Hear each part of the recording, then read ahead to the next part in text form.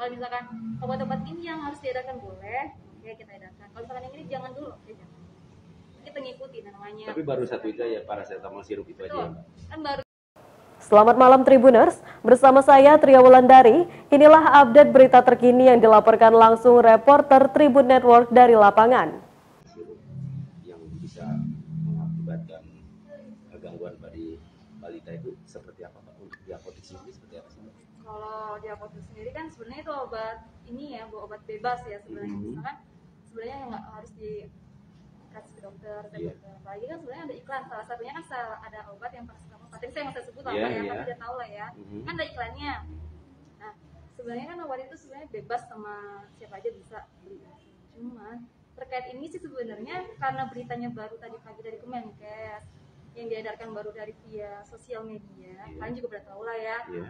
jadi belum secara resmi nih dari orang Bepom obat-obat apa aja sih yang dikeluarin karena kan kita kayaknya dari Kemenkes ya lewat dari apoteker kita dia ngasih tahu obat ini jangan dulu dijualkan diedarkan oke baik kita tahan nah kebetulan dari tadi pagi sampai saat ini itu belum ada penjualan yang berarah ke paracetamol gitu Paracetamol sirup itu ya. sebenarnya sih barang paracetamol sirup yang bermasalah ya katanya Mhm. ya yang lagi bukan bermasalah tapi lagi diselidiki lah Iya. gitu ya Mhm. lagi ditinjau Mhm. jadi untuk omsetnya sendiri bukan dari paracetamol aja sebenarnya banyak sih kita omsetnya. Cuman untuk sekarang apa yang dibilang disampaikan sama Kemenkes baik kita lakukan sekarang karena kan kita juga nggak mau ambil resiko ya apalagi kan itu berhubungan sama anak-anak yang katanya sekarang lagi ditinjau ada yang sakit gitu kan karena minum obat.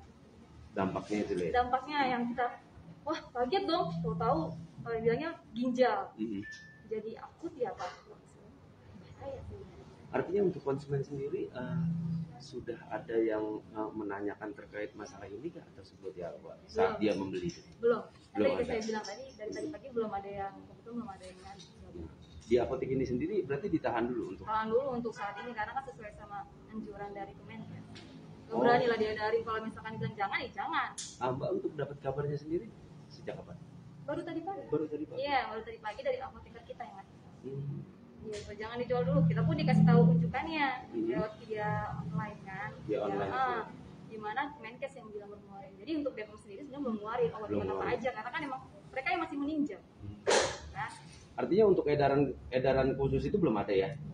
Nah, edaran tertulis gitu. iya, edaran secara bentuk hardnya itu belum ada. Oh, belum Masih ada. soft copy-nya aja sih. Artinya sekarang pemilik eh, apa namanya apotek menahan. Mengikuti, mengikuti apa yang dianjurkan sama Kemenkes kita ikuti. Itu yang jangan ya jangan.